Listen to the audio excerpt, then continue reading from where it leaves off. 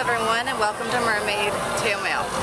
My name is Mermaid Karri and I just received a letter from Ava. Ava writes, Dear Karri, you are my favorite mermaid. I am Ava and I am six. Do your eyes hurt when you are under the water?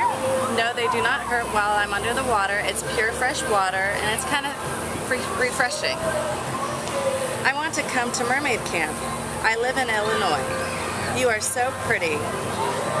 Well, thank you very much. And she actually drew, drew me a beautiful picture. I'm guessing that's me.